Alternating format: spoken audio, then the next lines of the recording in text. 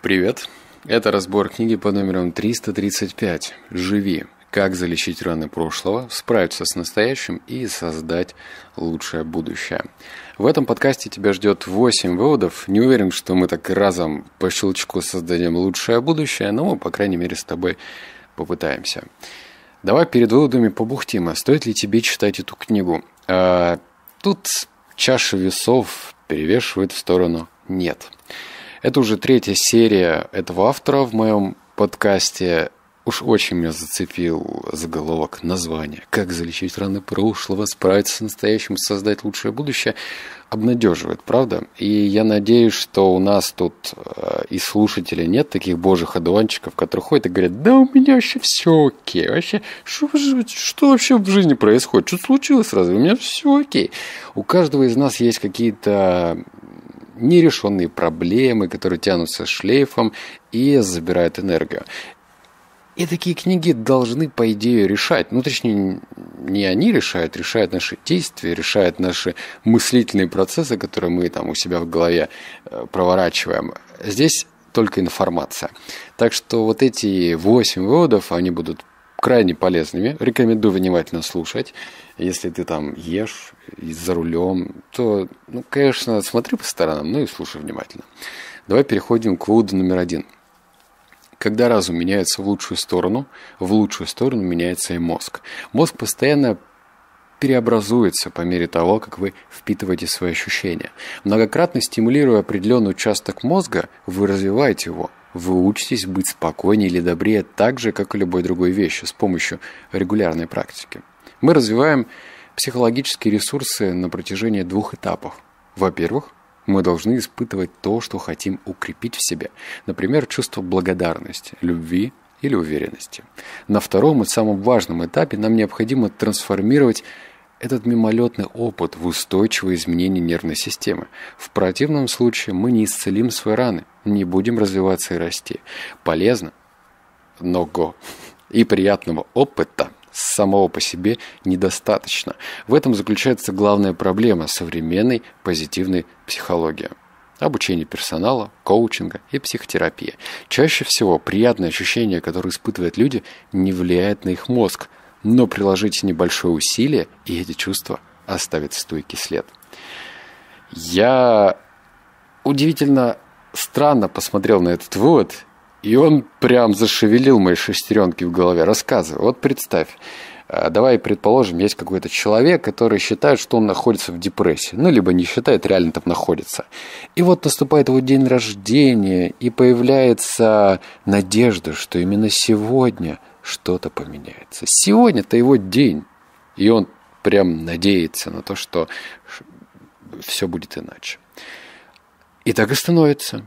Ему говорят приятные слова, задаривают подарками, нужными подарками. Он задувает свечи на торте и счастлив. Наступает следующий день, и все возвращается на круги своя. Автор же говорит, что тебе это состояние нужно заметить. А почему ты счастлив? Какое чувство ты ты испытываешь в глубине. То есть мы можем, ну, парни, я в том числе вообще все парни, ладно, что я обобщаю. Ну, в общем, мужской пол очень-очень ограничен в определениях чувств. Это девушки могут говорить, я чувствую э, вдохновение, я чувствую воодушевление, а парни, у меня окей, все нормально, нормально, жить буду, идем дальше. вот нам нужно разобраться в этих чувствах, понять, что мы испытываем, что нас вдохновляет, и копнуть, копнуть в сторону этого чувства обнаружить, а что нам, что было причиной, почему мы испытываем это следствие. И только тогда, при этой мыслительной работе, мы можем, как пишет автор, оставить стойкий след. Вот номер два. Быть за себя – когда мы относимся к людям с заботой и уважением, мы пробуждаем в них их лучшие черты. То же самое произойдет, если мы будем относиться хорошо к себе. Однако человек, как правило, является лучшим другом для кого-то, а не для себя. Мы заботимся о чужой боли, видим в людях положительные качества и проявляем к ним справедливость и доброту. Но каким другом вы являетесь по отношению к самому себе – Многие подвергают себя жесткой критике, сомневаются в себе, теряют над собой контроль, вместо того, чтобы вырабатывать в себе устойчивость.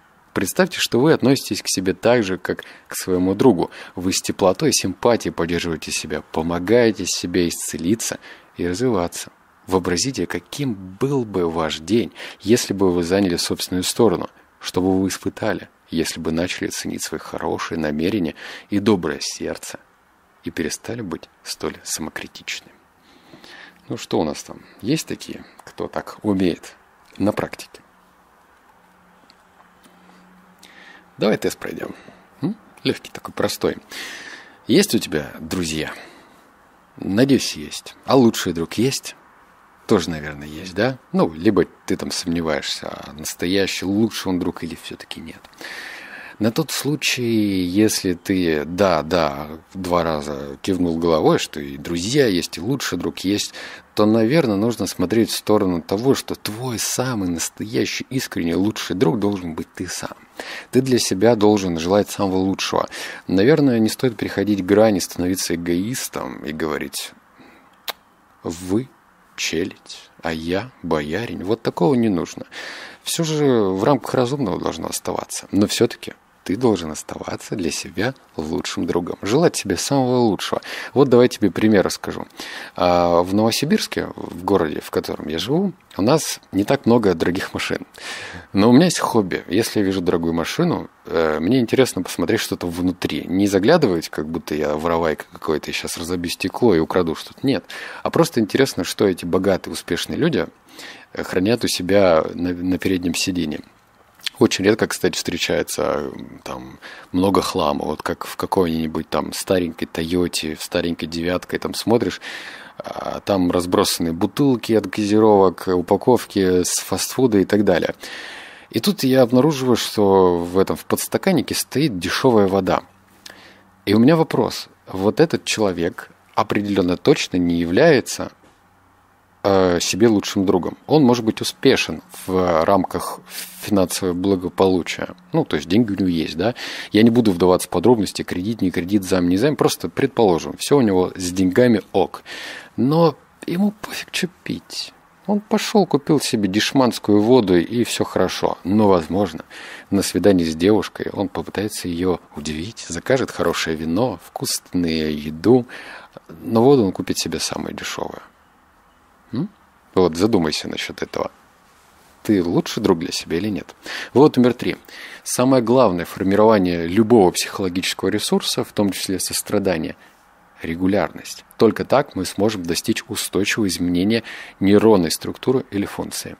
Вы словно записываете песню на старомодном магнитофоне. Когда играет песня, то есть когда вы испытываете ресурсное чувство, вы помогаете ему оставить физический след в вашей нервной системе. Если вы же ощущаете что-то приятное или полезное, например, удовлетворение от выполненного отчета на работе, или комфорт, когда прилегли на диван в конце сложного дня – Постарайтесь заметить это чувство. Вы также можете осознанно создать любое ощущение, такое как ощущение «я на своей стороне». Как только вы испытали нечто подобное, постарайтесь прочувствовать это как можно глубже и удержать ощущение в течение нескольких вдохов. Чем чаще вы это делаете, тем глубже вы встроите психологические ресурсы в нервную систему. Вот тебе советы из области не фантастики, а практики. А, у нас же, ну, вне зависимости от ситуации, которая сложилась в мире и конкретно в наших с тобой разных жизнях, бывает приятное, да, и приятное может быть разным. Вкусное мороженое съел, пироженку, еда вкусная, комплимент получил, что у тебя классная блузка, рубашка, что-нибудь у тебя, туфли у тебя вообще огонь просто. И вроде и самооценочка говорит, ну да, да, все нормально с туфлями у меня. И блузка тоже огонь, согласен. Но вот это чувство, мы как бы мимолетно получили выброс эндорфинчика или другого из гормонов, и все хорошо. А дальше идем по своему пути. Но что если это чувство задержать? И автор, кстати, дальше на страницах рекомендует задерживать его через изменение дыхания. Вот мы с тобой дышим повседневно как? Прерывисто, поверхностно. Ну, мало кто умеет правильно дышать. И что если в момент, когда ты испытываешь что-то хорошее, тебе нужно дать сигнал своему мозгу, что именно в этот момент я постараюсь дышать иначе. Ну, типа на три вдоха, на три секунды делаю вдох, а выдыхая на 5 секунд, то есть медленнее. Таким образом у тебя будет срабатывать такой, знаешь, щелчок в голове, что что-то мы должны запомнить. То есть тебе нужно физиологически что-то поменять. Можешь себя поглаживать, но только в неинтимных местах. Можешь себе ну, что-то внутренне проговаривать. Типа, блин, я сейчас такое офигенное чувство испытываю после этого мороженка или после просмотра этого фильма. Зафиксируй, остановись, замедлись, прочувствуй это состояние. Вот номер четыре. А, сейчас интригу пущу. Ой, ой, ой, ой. Готовься. Если вы хотите укрепить свою мотивацию, например, к тренировкам, здоровому питанию или завершению сложного проекта на работе, постарайтесь сосредоточиться на... Не скажу на что. Ну, точнее скажу, мы с тобой опять сыграем в игру, 500 комментариев соберем, и тогда скажу. А не соберем, ничего не скажу. И перейду просто вот так вот нагло, как торгаш последний, к пятому выводу. Все. Вот номер пять. В подходящий момент позвольте ощущению войти, признайте, что вы перенесли что-то тяжелое и цените себя за это. Пусть облегчение и расслабление охватит все тело. Постарайтесь заметить или вспомнить чувства, которые могут заменить отпущенные переживания. Например, это может быть спокойствие вместо тревоги. Сосредоточьтесь на верных и полезных мыслях, которые пришли на смену ошибочным и вредным. Подумайте, можете ли вы извлечь урок из произошедшего. Возможно, вы станете добрее к себе или внимательнее в отношениях с другими. Нет ли чего-то, что стоит изменить в своем поведении? Вероятно, вам следует приезжать в аэропорт заранее или перестать говорить о деньгах с партнером перед сном. Доверьтесь интуиции. Она подскажет, когда переходить от одного шага к другому. Вспомните сказку «Три медведя», в которой одна кровать была слишком жесткой, другая слишком мягкой, и лишь третья оказалась подходящей. Что именно окажется подходящим для вас, зависит от самого ощущения. Например, вы можете на несколько секунд позволить осуждающей мысли быть и признать знакомое ворчание. Ну вот я снова поучаю других водителей, а затем быстро перейти ко второму шагу и отпустить ее. Не стоит зацикливаться на этом. Вы уже уловили мысль, пора двигаться дальше. В этом выводе кроется две контрольные точки для будущих твоих метаморфоз. Первое. Если ты словил себя на негативной реакции, ну вот как пишет автор, начинаешь матюгами крыть всех водителей, ведь они купили все права, ты профи, ты шумахер, они тебя подрезают, они там, ну короче, уводят, вот как тебе не нравится, брат. И в этот момент первый шаг – это зафиксировать, типа, я ворчу, я матерюсь, я там, у меня костяшки заливается от того, что врезать хочу. Ну, конечно, не врежь кому, но все-таки. Ну, то есть ты злишься. Первая фаза. Вторая фаза. Отпусти. Да, ты уже заметил, что ты выводишься так быстро. Ты как этот, по рефлексы Павлова, да, слюна выделилась, услышали звоночек колокольчика. Но мы же с тобой это поумнее, правильно, всех этих законов, всех этих экспериментов над собачками Павла.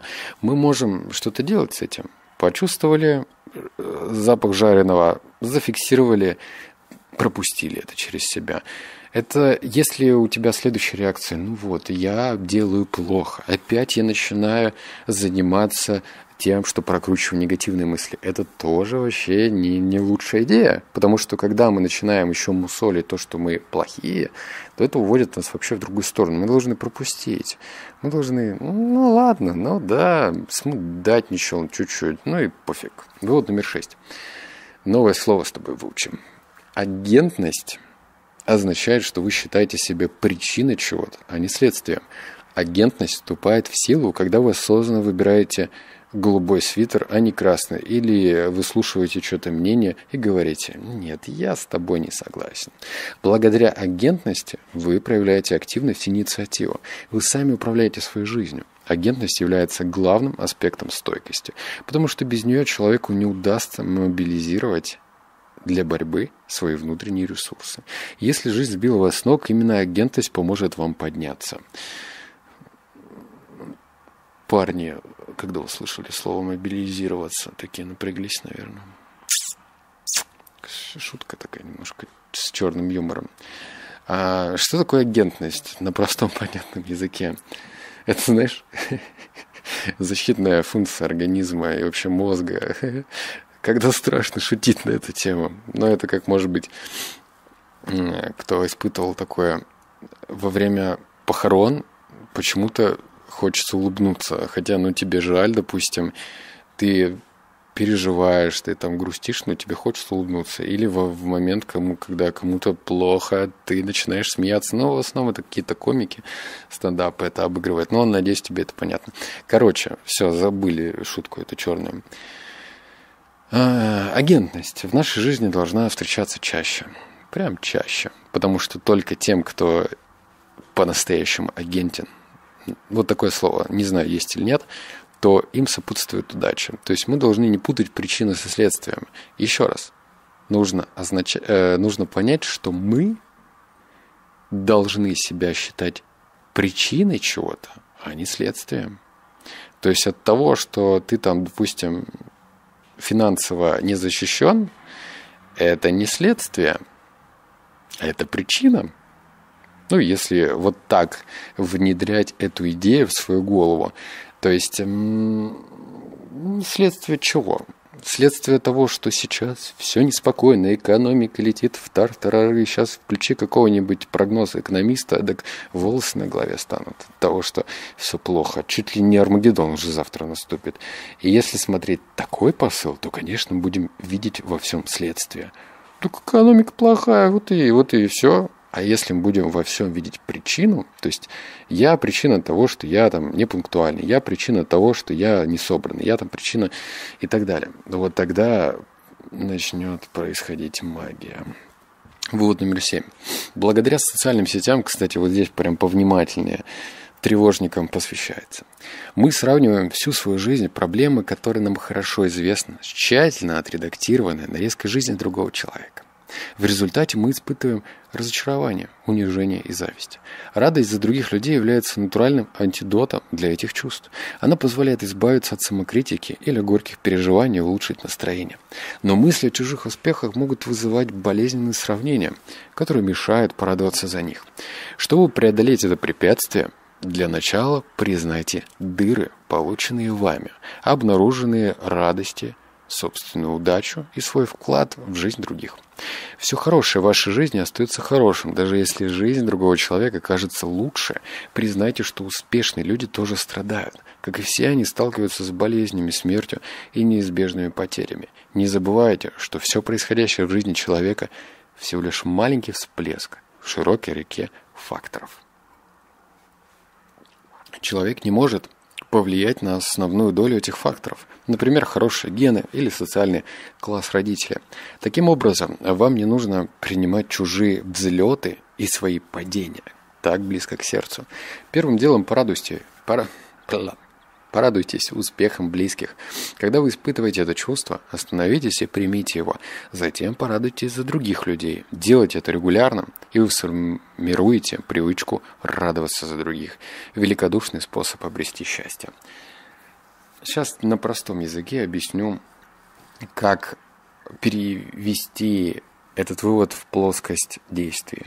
Это так звучит очень романтично, радуйтесь за другим. Я прекрасно понимаю, большинство людей, вот я сам 18 лет, вот давай представим картинку, сейчас поработаю с твоей фантазией. Вот представь старую пятиэтажечку.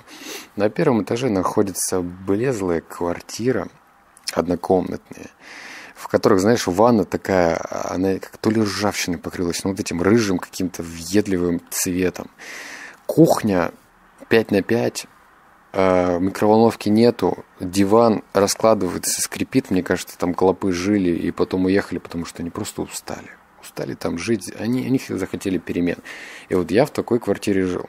И вот если мне сказать, 18 лет, сейчас мне 30, сказать, предположим, что тогда Инстаграм был популярный, кто-то мне там шепнул на ухо, вот, смотри, на этих успешных людей радуйся за них. Я бы сказал, ты вообще, ты, Э, сложно подбирать слова без матов. Ну, в общем, я бы послал этот внутренний голос или шептуна этого мне в ухо куда подальше. Вот, вот на все много красивых букв. Я бы так сделал. Я бы вообще не поверил, как можно радоваться за кого-то. И у меня есть реальная практика, которая тебе поможет. Во-первых, радоваться за кого-то легче тогда, когда ты этого человека по-хорошему э, уберешь с пьедестала, так сказать. Вот э, когда ты выступаешь, есть такое правило в ораторском среде. Это представить публику голой. Не все могут это сделать, не для всех это уместно, но это работает. Когда ты представляешь людей голыми, не униженными, не оскорбленными, а голыми, ты как бы понимаешь то, что все окей, это вообще они должны чувствовать себя смешными. Здесь то же самое. Представь, что этот вылизанный картинка с брюнетом, который сидит в Бугатти и написал, что он все заработал на биткоинах, и у него часы за 1183 триллиона долларов. Вот представь, что он голый, с пиписькой маленькой сидит.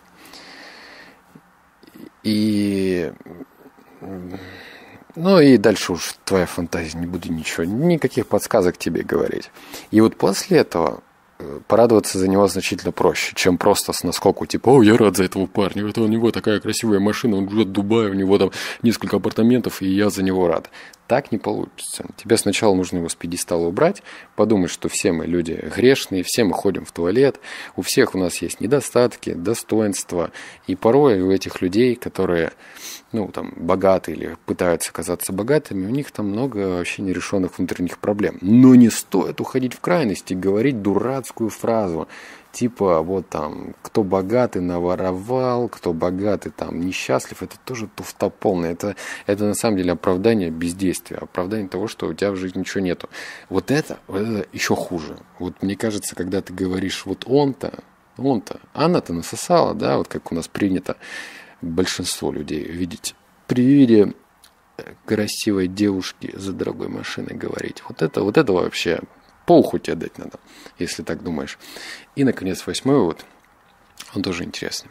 Дайте отпор внутреннему критику, поставив цель победить. Запишите его основные слова, например, «Ты всегда терпишь неудачу». И затем Найдите не меньше трех правдивых опровержений. Перечислите свои успехи. Представьте, как члена внутреннего комитета, я потом на этом заострю внимание, расскажу, внутреннего комитета заботы поддерживает вас и возражает критику. Будьте с ним, а не с критиком. Поговорите с собой, сказав себе что-то вроде «Эта критика содержит в себе долю правды, но все остальное преувеличено или неверно». Именно это мне говорил, ну и вставь имя там что-нибудь. Это было ошибочно, тогда и остается ошибочным сегодня. Критика не может, не поможет мне, и я не должен прислушиваться к ней. Постарайтесь относиться к внутреннему критику как к чему-то ненадежному. А теперь практически, дальше я читаю внимательно, слушай, я тебе говорю прям, слушай, вы можете представить нелепого героя, например, глупого мультяшного злодея из диснеевских фильмов, поместить его в дальний угол своего сознания, за пределы собственного «я», словно неприятного человека на совещании, который всегда критикует, но которого вскоре все перестают слушать. А, причем тут диснеевская мультяшка, да, спросишь ты. А вот внутренний критик же в каждом живет, правильно? Правильно? Кто тебя критикует и говорит, да не, у тебя не получится, да ты, ты, ты себя видел, да ты шо, ты слишком стар, ты слишком молод, ты слишком суперстар, ну вот это вот все.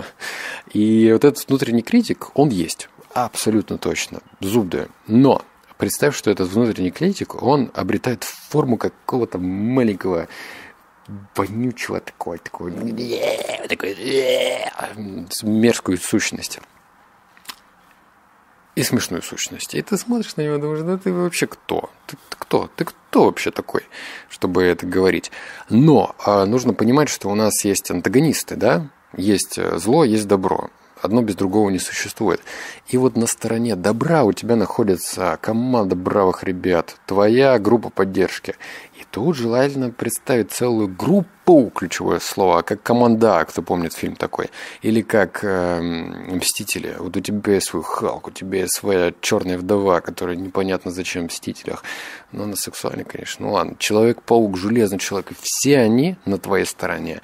И они сейчас так мочканут этого, вот этого маленькую, которого критика. Халк подойдет и скажет, я есть Халк. А нет, это Грут говорит. Короче, они все дадут жару, дадут просраться этому критику. Пофантазируй, кто кто э, скажет, что ты умалишенный? Только ты сам, но если ты никому не расскажешь об этом. Ты же сам волен фантазировать, что хочешь у себя в голове. Если это тебе поможет, то пожалуйста. А если ты, как сейчас внутренний скептик, тебе скажет, что-то дурацкая практика, то ты так и не попробуешь, а не попробуешь, не узнаешь. Но моя личная рекомендация, если ты хочешь что-то пробовать, во-первых, а, верь в это, по-настоящему, б, на длительной дистанции, хотя бы месяцок-другой. А потом уже скажешь, не работает, работает, что хочешь скажешь.